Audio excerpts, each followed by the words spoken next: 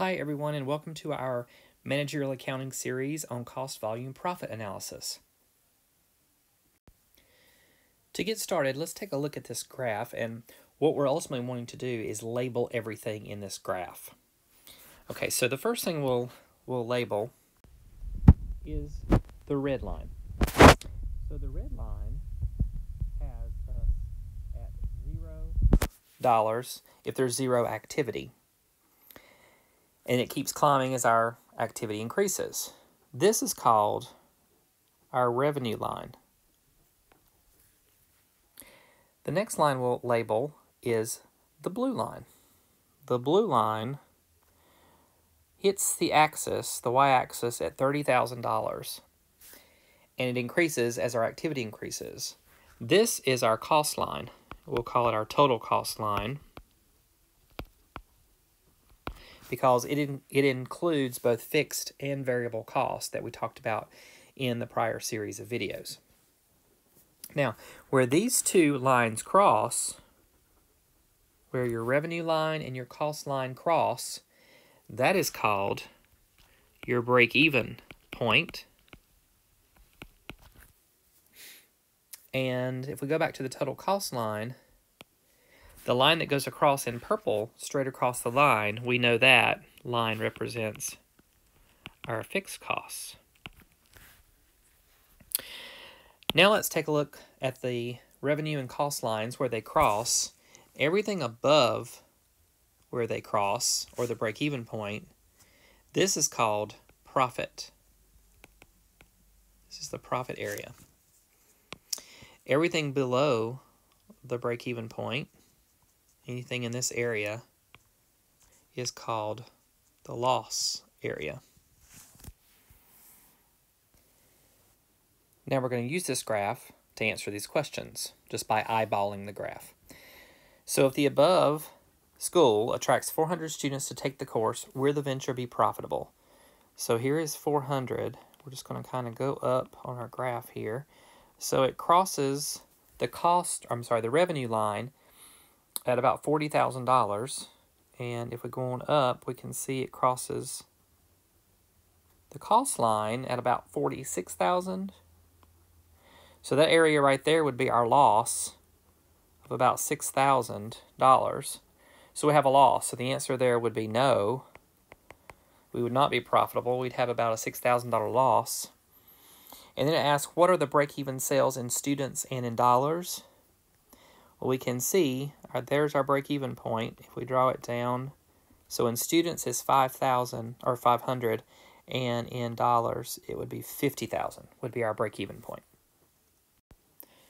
There are a couple of ways that we can calculate our break-even and the first method is called the income statement approach.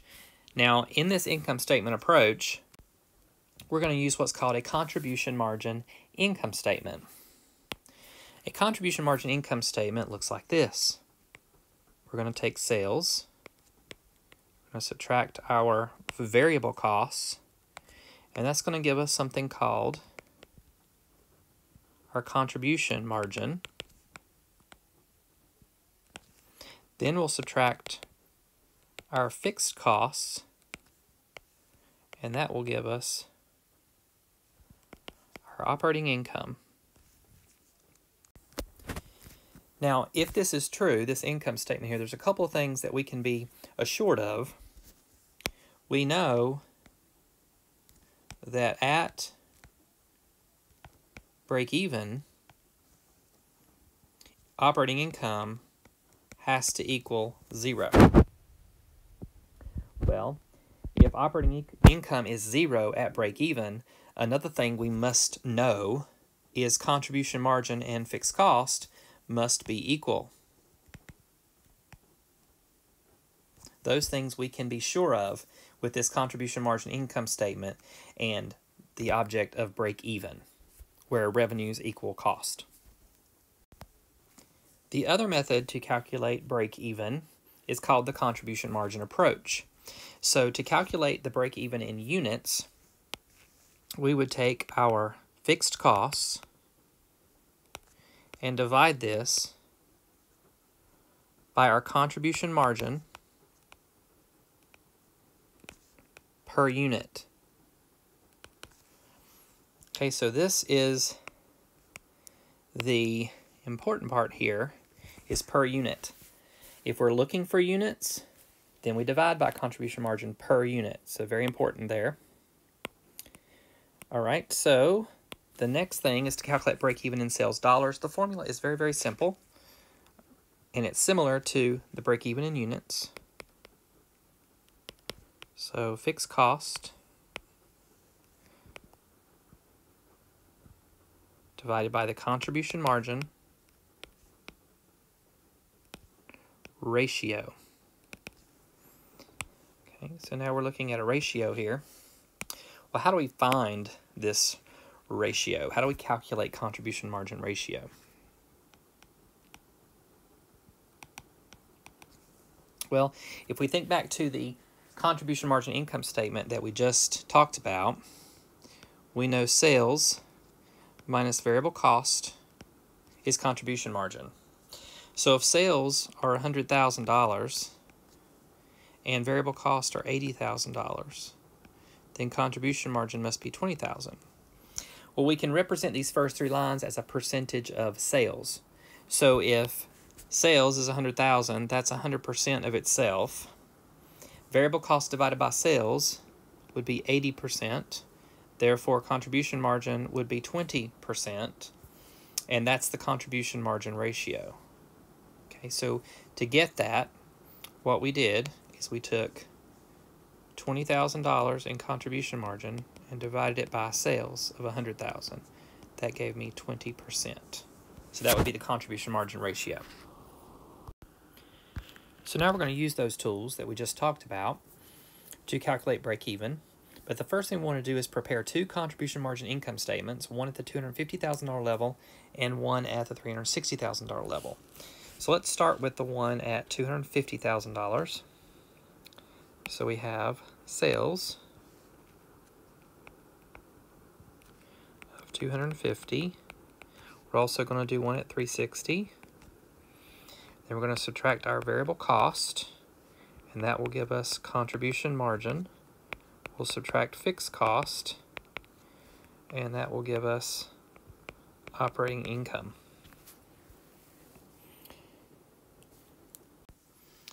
So now we need to continue filling in the rest of this information. And they give us down here this little um, income statement at $312,000.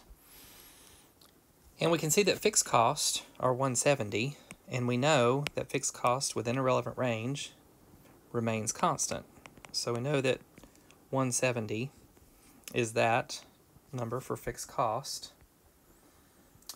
But variable cost we know changes, so we know that variable cost at different revenue levels is not going to be 125,000 as in this blue square down here, so we're going to have to figure out what that is.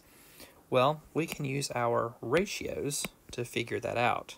So sales minus variable cost is contribution margin and they give me sales of 312,500, variable cost of 125, giving me a contribution margin 187.5. We know that sales is 100% of itself. In this case, variable cost 125 divided by 312.5 would be 40%, leaving me with a contribution margin percent of 60%. So variable cost would be 40% contribution margin should be 60% in all of this story here. So 40% of 250 would give me $100,000 in variable cost.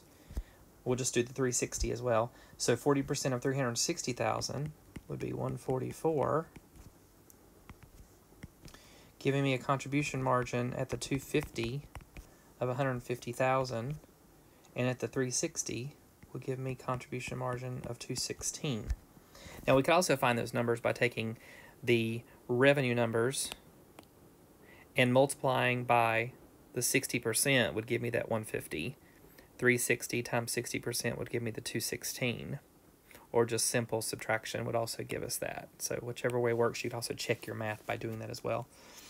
So for the $250,000 revenue level, our operating income would be a loss, actually. So it'd be an operating loss of 20000 Fixed cost would still be the same for the $360,000 level, giving us a revenue of 46, I'm sorry, an operating income of 46,000. Now the next objective is to compute the break-even sales in dollars. So very important that you notice this because remember there's two different equations to use if we're using the contribution margin approach.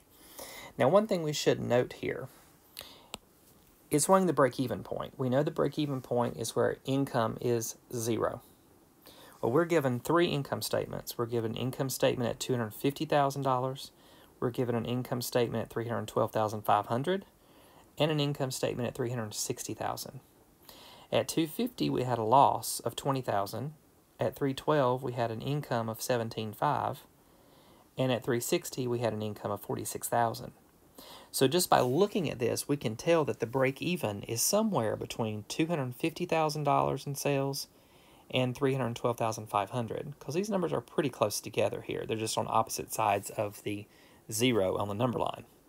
So we know that our whatever number we get here should be somewhere between 312,500 and 250,000. So that way we kind of know if we're right when we calculate this. All right, so let's look at an equation here. So they want us to use the contribution margin approach, which we know is fixed cost divided by contribution margin ratio that's our formula. So fixed cost is $170,000 and our contribution margin ratio is 60% or 0.6. So you should get $283,333.33 as the operating income to break even. Now what I'd like for you to do is to prove it. And to do that, I would like for you to use the income statement approach. So you've got three income statements here in front of us. We have, again, 250, the 312, 500, and 360. What you need now to do is to create another income statement at the $283,333.33 level. And when you're done, operating income should be zero. So press pause on your player, compute that really quickly, and come back and we'll see how you did.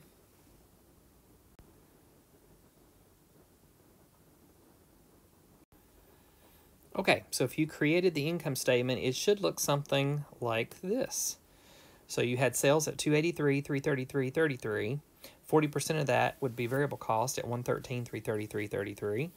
And your fixed costs were 170, which is equal to contribution margin, giving us an operating income of zero. So we have proven that the break even in sales dollars is 283, 333.33.